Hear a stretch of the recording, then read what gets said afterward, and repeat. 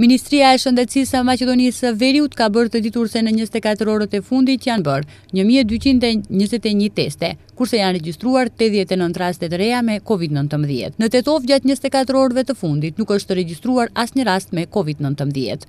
Nga numri i përgjithshëm i rasteve pozitive, 20 persona janë infektuar sërish, njofton Ministria e Shëndetësisë. Janë regjistruar tetëdhjetë e shtatë persona që janë shëruar.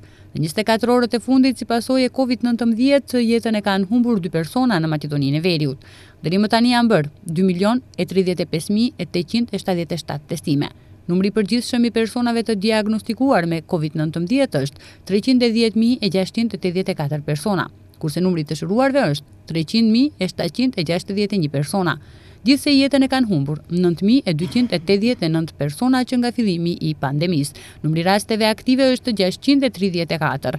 Në Tetovë që nga fillimi i pandemisë janë regjistruar trembëdhjetë mijë e katërqind e gjashtëdhjetë e tetë të infektuar, kurse raste aktive janë njëmbëdhjetë me Covid nëntëmbëdhjetë.